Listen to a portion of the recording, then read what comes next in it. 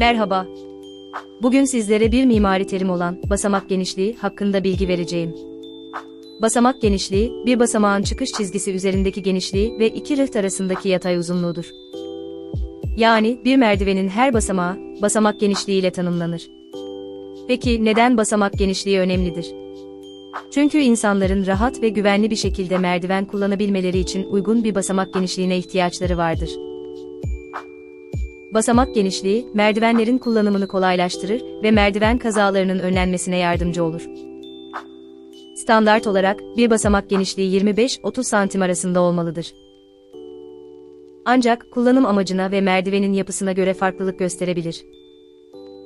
Örneğin, bir yangın merdiveninin basamak genişliği daha geniş olabilirken, bir ev merdiveninin genişliği daha az olabilir.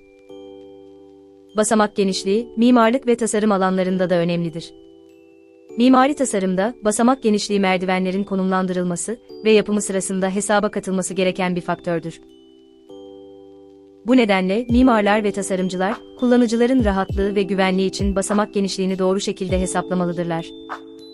Umarım bu video sizin için yararlı olmuştur ve basamak genişliği hakkında daha fazla bilgi edinmenize yardımcı olmuştur.